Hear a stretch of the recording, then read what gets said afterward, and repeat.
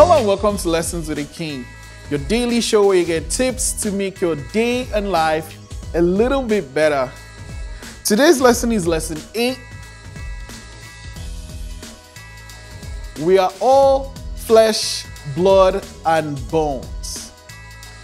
Yeah, I know this one sounds a little bit different, but I'll just get right into it. As a human being, you have blood, flesh, bones. That's what we all are. However, for whatever reason, some people are seeing less than. Sometime last year, uh, we had, you know, COVID happened.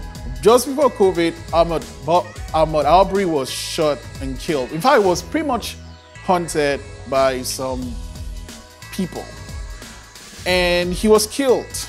Um, and just, I don't know, a couple of weeks ago, just towards the end of the year, there was a video of um, the police coming after everything had happened.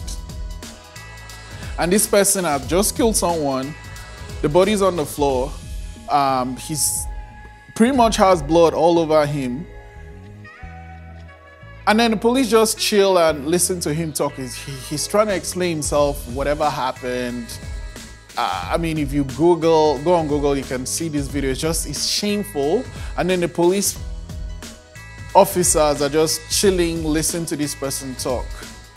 And I was watching this thing and I was just thinking, what if it was the reverse, right? What if it was a black person that killed a white person and then the police arrived and it was a white person dead on the floor and is this black person with blood? Like, I don't even have to ask that question myself. We all know what what's most likely gonna happen. And if you go online, you see instances where people pretty much always white men, uh, do things that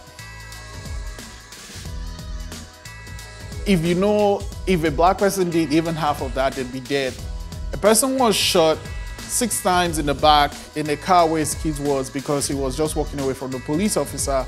On the other hand, there's a, there's a film of this white guy pretty much beating a police officer, getting in the police officer car and driving off. The police officer didn't tase him, didn't shoot him. You know, when things like that happen, it's like, is one life more valuable than other? And that's what I'm going to leave you today. Um, we're all human beings, and we should just learn to be a little bit more kind with each other. We should learn to treat each other better. So yeah, today's lesson is lesson eight. Uh, we're all flesh, blood, and bones. Thank you for spending time with me, and I'll see you tomorrow.